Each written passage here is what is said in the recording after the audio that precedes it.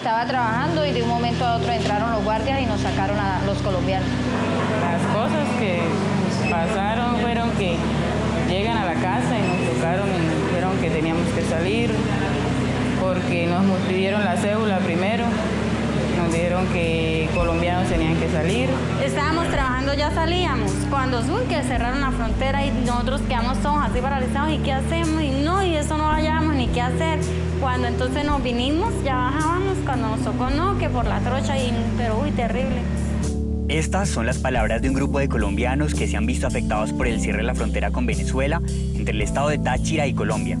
Hace poco más de un mes, su vida dio un vuelco de un día para otro y en pocas horas. Muchos aún tratan de entender la situación para no caer en el desespero y poder seguir adelante, pero no es fácil. En sus cabezas, los recuerdos de lo que pasó siguen dando vueltas. Duro porque hicimos, primero para comprar la casa fue un esfuerzo y después para tener las cositas fue otro esfuerzo. Entonces, nos tocó dejar todo atrás, no mirar para atrás porque era mucha tristeza. Manicruzados porque no hallamos qué, opción tomar. Esperamos una semana, fue que esperamos para ver si abrían cuando no, que son nada, yo, yo mío, el desempleado, yo desempleada, los niños, los gastos, no. Lo que más angustia a estas personas es no tener trabajo y depender de los demás, cuando su vida ya está organizada. Por eso, el gobierno se da la tarea de ayudar a conseguir empleo a quienes fueron deportados. A través de la Agencia Pública de Empleo del SENA, más de 330 personas han sido contratadas y hoy tienen más de 140 vacantes en diferentes empresas.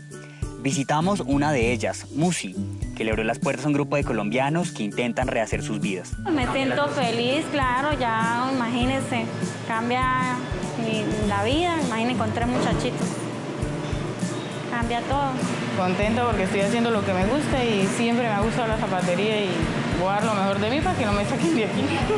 En medio de las preocupaciones y del malestar que produce tener que dejar todo por lo que trabajaron durante tantos años, estas personas quieren seguir luchando, sobre todo por sus familias.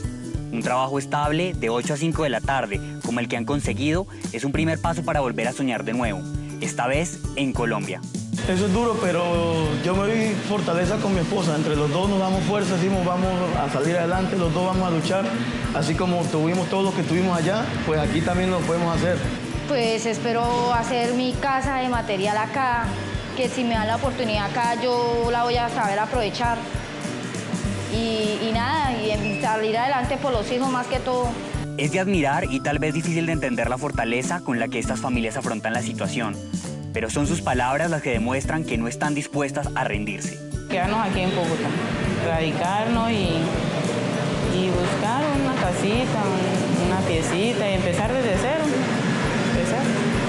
Y un futuro para mis hijos, son mis hijos los que están por delante y trabajar.